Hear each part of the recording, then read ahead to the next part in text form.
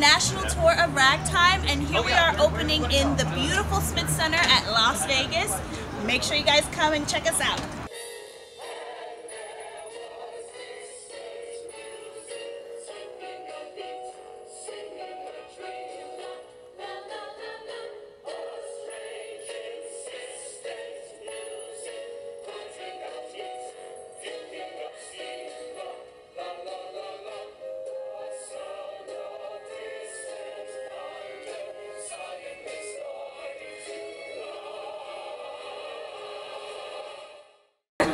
In 1902, Father put his house at the crest of the Broadview Avenue Hill in New Rochelle, New York. Ragtime is about the racial differences in the early 1900s. It's set in New York and it focuses on three different groups A rich white family from New Rochelle. immigrants on the Lower East Side. and the African Americans of Harlem.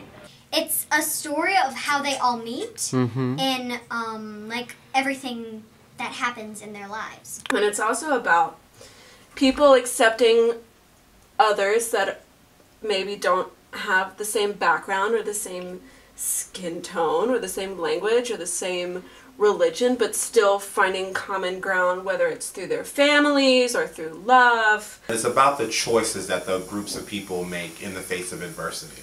It's a- ultimately asking you the question, what do what will you do when things aren't quite going your way? What kind of oh. person will you be? What kind of person will you become? Ragtime is about acceptance. Ragtime is about love. Ragtime is about triumph. we're in a interesting political climate right now so everybody's like bringing their own view to this show and i feel like you know we have a lot to say So many of the issues that happen in the show that takes place in 1906 are still incredibly relevant today.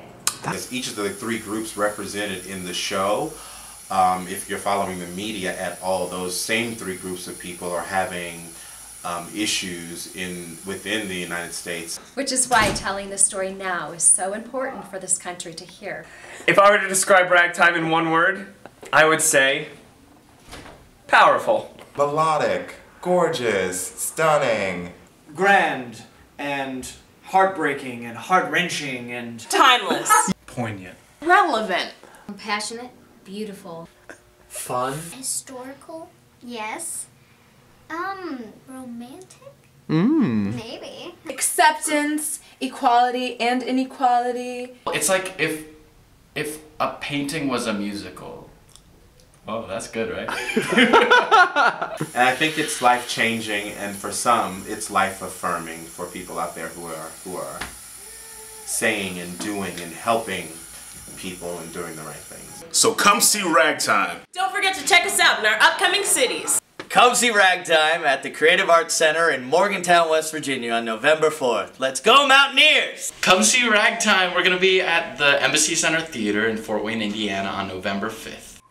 Come see Ragtime in Bloomsburg, Pennsylvania on November 6th at 7.30 p.m. at the Haas Center.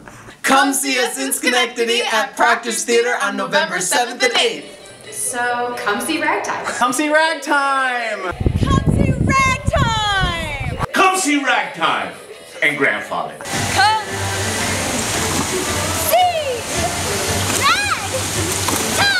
Come see Ragtime! Come see Ragtime.